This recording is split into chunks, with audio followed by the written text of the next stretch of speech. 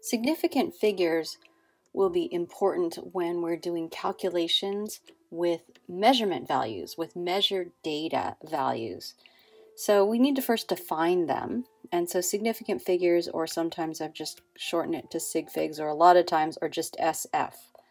So the definition of what makes a number, an individual digit, significant is that you have all non-zero digits are significant. So those are your digits 1 through 9. So this example of a measured value, 1.55 grams for G, this is the 1 is not 0, the 5 is not 0, and that 5 is not 0. So that has three sig figs, 3 SF. Okay. So if you have all 1 through 9 covered, that only leaves zeros. So there are three types of zeros. There's zeros that are called captive zeros. Those are between non-zero digits. There's zeros that are leading zeros. Those are leading zeros are on the left.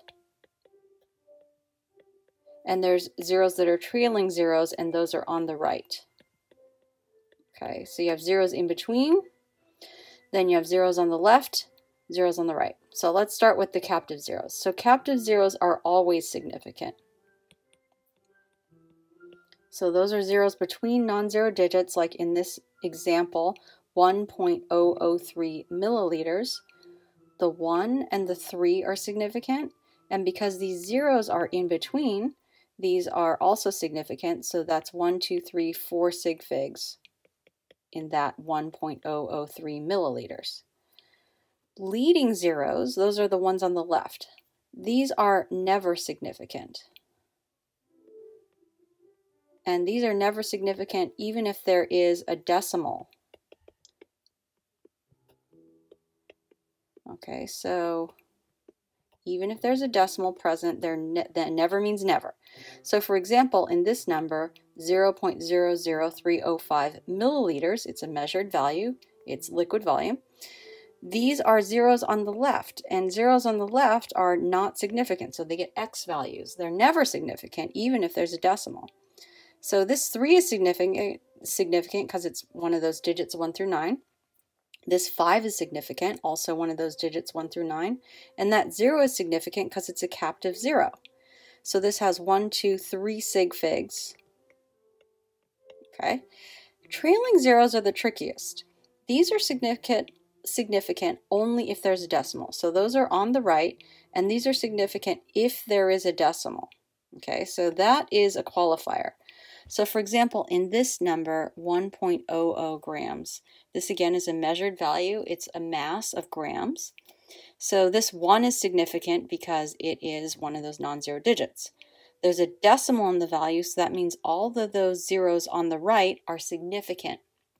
They are therefore 1, 2, 3, 4, 4 sig figs in this 1.00 grams.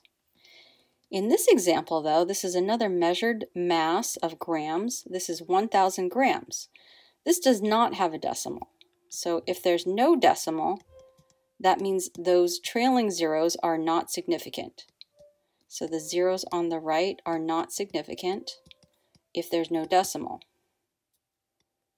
Okay, so this would be, this one is significant, but not those zeros. Those get X's. So only the one that I underlined is one sig fig, so that is a one sig fig in this 1,000 grams. And these, the number of significant figures becomes important when we're doing calculations with measured values and rounding off for significant figures. This number value summarizes a lot of all these concepts for significant figures. So these leading zeros, these are on the left, these are never significant. So this is no, no, and no.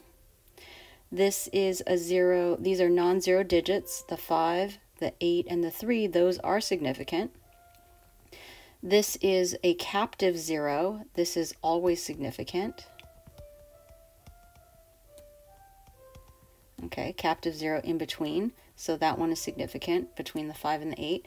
And then trailing zeros are only significant if there's a decimal. And so this is a trailing zero. There, since there is a decimal in that value, that trailing zero is significant. So this number value has one, two, three, four, five sig figs.